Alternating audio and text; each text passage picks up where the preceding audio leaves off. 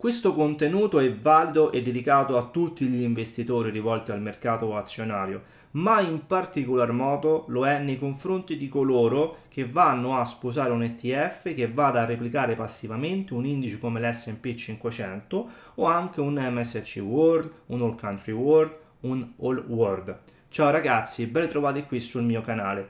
Se è vero che si opera in piena coscienza questa scelta, si dovrebbe sapere che il ritorno del mercato azionario, gli studi adesso sono basati sull'S&P 500, annualizzati sono del circa il 10%, quindi il 10% annualizzato all'ordo dell'inflazione.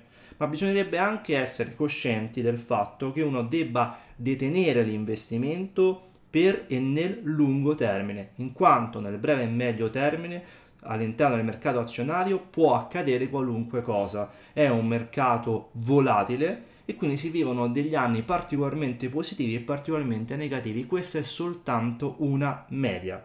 Ma io ho realizzato questo contenuto per farvi intendere, per dimostrarvi come le notizie e anche il, quindi il sentiment derivante, positivo o negativo, e quindi poi i movimenti che fa questo indice, nel breve e nel medio termine siano soltanto rumore di fondo perché veramente ha sposato l'investimento per il lungo termine. Notizie del tutto irrilevanti per quanto possano sembrare oggi pazzesche e ve lo voglio dimostrare ragazzi. Allora, io qui sono andato a eh, prendere l'indice SP 500 o meglio stiamo visualizzando l'ETF SPY quindi l'ETF che va a investire che replica l'andamento dell'S&P 500 il più grande al mondo. E ho fatto un giochino. Ho preso una finestra temporale quella degli ultimi 5 anni. Non perché sia un campione statistico lunghissimo, quindi non stiamo parlando di 20 anni, 30 anni, 50 anni, 100 anni e probabilmente sarebbe anche inutile perché i mercati degli ultimi 10, 15, 20 anni, anche l'economia, tutta quanta la finanza, l'industria finanziaria, quello che sono in grado di fare le banche centrali, il mondo così eh, globale no? rispetto a una volta, hanno mutato completamente gli scenari, i comportamenti e le dinamiche rispetto a 100 anni fa. Quindi spesso e volentieri secondo me non ha tanto senso.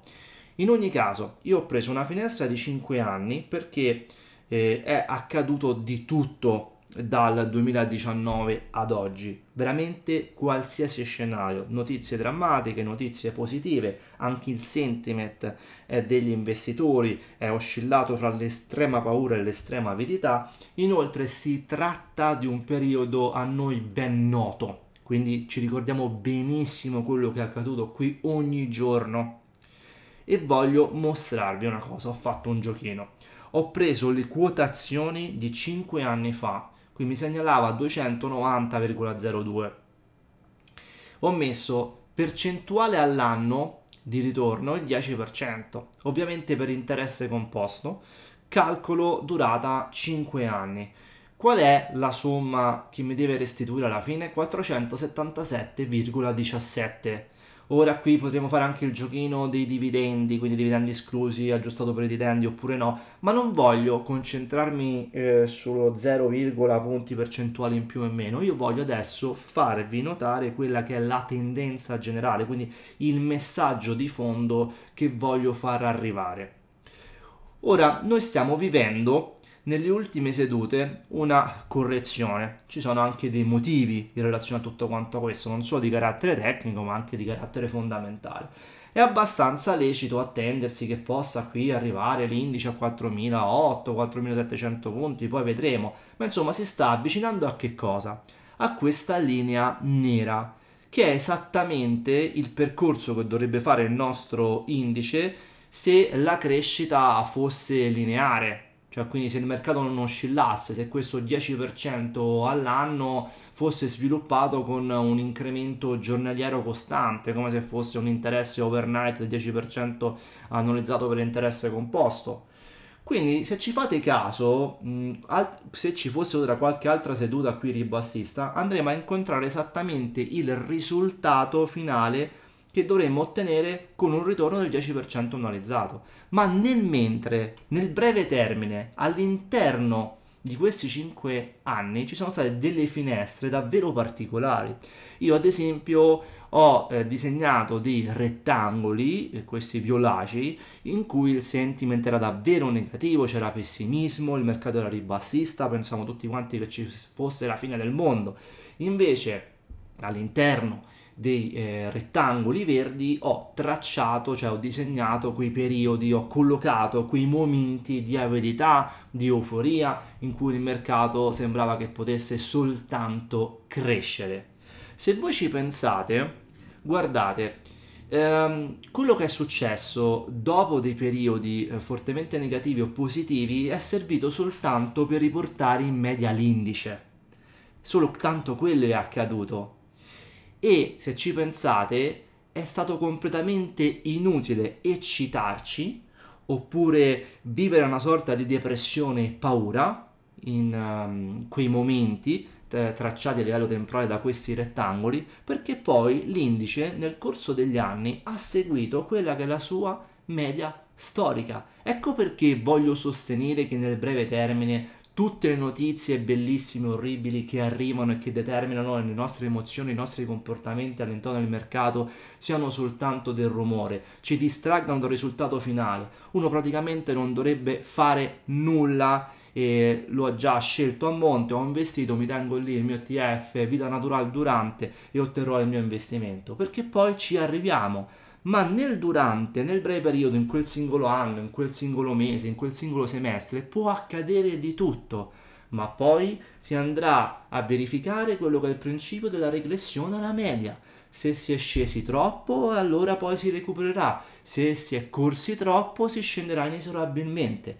Questa è la fotografia, ecco, questi 5 anni che abbiamo vissuto sono eh, il riassunto di tutta quanta la storia dell'SP 500, dalla sua creazione, ma tutta la storia del mercato azionario lo possiamo riassumere benissimo in questi 5 anni. Ed è accaduto di tutto, la pandemia, ci hanno chiusi dentro casa, abbiamo visto poi degli stimoli incredibili, massi monetari che arrivarono, politica che aumentavano, politica dei tassi a zero e poi invece c'è stata l'inflazione, l'aumento dei tassi di interesse incredibili e poi tutta quanta la retorica nuova, no? un po' di cambiamento lo scorso ottobre, quindi 5 mesi di rally pazzesco, siamo andati in estrema verità, adesso stiamo vivendo una correzione, insomma qui è accaduto di tutto, conflitti bellici, tensioni geopolitiche, c'è stata qualunque cosa. Dove ci troviamo? Esattamente dove avremmo eh, pensato di trovarci 5 anni fa proiettandoci avanti nel tempo. Quindi se qualcuno avesse investito 5 anni fa e avesse aperto oggi, ok, il suo conto titoli, direbbe, bah, vedi, sì sì, è andata esattamente come, come pensavo, sta rispettando la media, eccetera, e si sarebbe perso eh, tutta quanta questa serie incredibili di emozioni, di decisioni all'interno del mercato. Si sarebbe risparmiato veramente eh, tanta tanta tensione e non sarebbe andato al cardiologo, ecco, alla fine.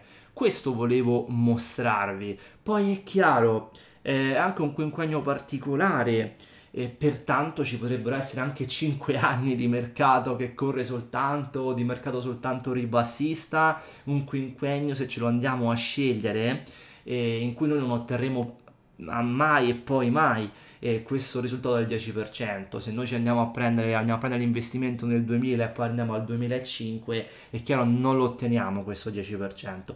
Per quello si dice sempre bisogna avere un orizzonte lunghissimo, perché se superiamo i 10 anni le probabilità sono altissime, i 20 anni quasi certi, i 30 anni a livello statistico davvero certe di poter aver guadagnato sul mercato azionario, quindi più estendiamo il periodo e eh, maggiore la probabilità che si vada a concretizzare questo ritorno annuale eh, storico. Questo è il concetto, quindi non è un bias cognitivo, eccetera. Io ho scelto in maniera coscienziosa proprio gli ultimi 5 anni soltanto perché sono un caso studio estremamente rappresentativo delle dinamiche del mercato azionario. Quindi è per quello, non per dirvi in 5 anni di sicuro il mercato sale così, ma semplicemente perché è una fotografia perfetta di quello che accade, del concetto del, rimo- del rumore di fondo, delle distrazioni di breve termine e invece come nel lungo termine tutto quanto si possa andare a risolvere. Credo veramente di essermi spiegato. Quindi fatemi sapere voi nei commenti cosa ne pensate in relazione a quello che vi ho mostrato. Ho cercato anche ovviamente andare subito a smontare la critica, eh, ma tu hai preso 5 anni. No ragazzi, semplicemente per farvi vedere la fotografia, non per dirvi che in 5 anni a tutti i costi abbiamo questa tipologia di ritorno. Eh? Quindi no, non mi ripeto più, era soltanto per farvi arrivare il concetto che uno potrebbe anche risparmiarsi tutte quante le emozioni eccessive e eh, potrebbe rimanersene molto calmo e tenersi il proprio investimento e poi nel lungo termine tutto viene risolto, è inutile stare lì ogni giorno ad aggiornarsi, è chiaro io vivo di questo, mi piace, ho grandissima passione, vi invito anche a seguire tutto quanto questo mondo, a istruirvi, a rimanere sintonizzati, eccetera, eccetera, però non dobbiamo eh, lasciare che tutto quanto questo ci vada a coinvolgere, dovremmo essere molto più granitici rispetto alle informazioni giornaliere che arrivano, che sembrano sconvolgere o cambiare qualsivoglia paradigma, poi passa il tempo e alla fine la storia è sempre la stessa. Bene ragazzi, eh, vi ringrazio per essere arrivati fino a qui, iscrivetevi al canale, lasciate un bel like se desiderate mm, sostenere tutto quanto il mio lavoro su YouTube, io vi do appuntamento a prestissimo e lo sapete come sempre, vi auguro il meglio nella vita e negli investimenti.